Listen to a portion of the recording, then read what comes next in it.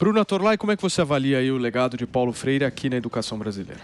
O legado de Paulo Freire, né, essa admiração toda que ele desencadeia nos setores acadêmicos e até culturais do Brasil é a maior prova da decisão nacional pela mediocridade, pela santificação do que é mais uh, frágil do ponto de vista intelectual. Não tem virtude, não tem excelência, não tem originalidade, não tem absolutamente nada de admirável. A única coisa que o Paulo Freire significa é um, aquele, assim, aquele pretexto para que toda a esquerda universitária tenha aí um símbolo, um símbolo que eles dizem que é intelectual, mas não é. Eu achei muito legal o Constantino mostrar que ele leu as obras, e eu gostaria até de dizer, Constantino disse que é insosso, que é enfadonho. Vamos falar da obra do Paulo Freire, que não adianta você falar que ele é maravilhoso se você não entender o que ele disse. Você tem que, em primeiro lugar, entender o que ele disse e que ele copiou.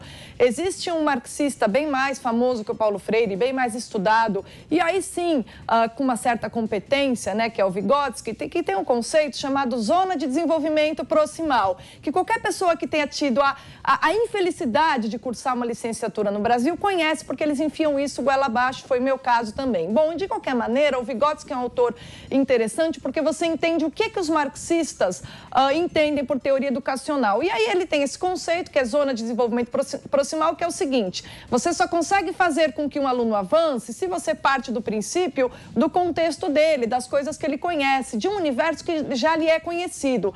O Vygotsky deu esse nome pomposo. Eu daria o um nome de bom senso. Qualquer professor com um pingo de sanidade mental sabe que você não tem como ensinar uma criança a escrever é, dando o alfabeto grego para ela, né? Você tem que ensinar com o alfabeto em português. Se você quiser ensinar ela a escrever em grego, que ela nunca viu na vida, ela não vai conseguir. Então é meio que evidente, meio óbvio, lulante, que você tem de partir uh, dos conhecimentos que ela já tem, do universo que ela já tem. E qualquer professor sabe disso. Por isso que isso que a gente chama de método fônico, que lida com sons, que são algo comum a toda criança, e todo mundo sabe que educar com música é um método tradicional funciona, porque a sonoridade é a, uma coisa fundamental na vida de uma criança e é aquilo que tem de mais universal e de mais comum, né? Por isso que esse recurso dá tão certo. Na verdade, é a mesma coisa, você parte de algo que a criança já tem. O que, que o Paulo Freire pega? Ele faz? Ele pega esse conceito básico do Vygotsky, que é um marxista, e ele, sendo também também marxista, como dizia ele, pela graça de Deus,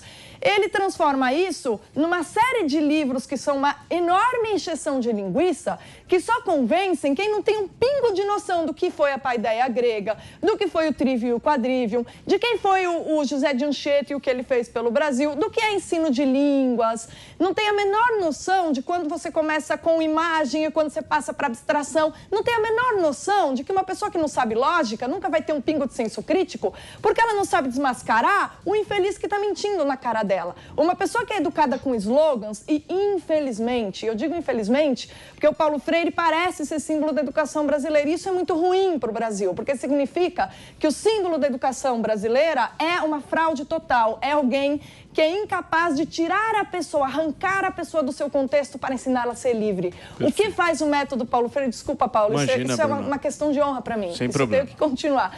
O que faz o método Paulo Freire é enclausurar a pessoa numa jaula. E se ela já está numa jaula, em condições terríveis, ela vai ficar ali eternamente. Ou seja, o método Paulo Freire produz escravidão mental e não liberdade. Por isso que ele é execrável.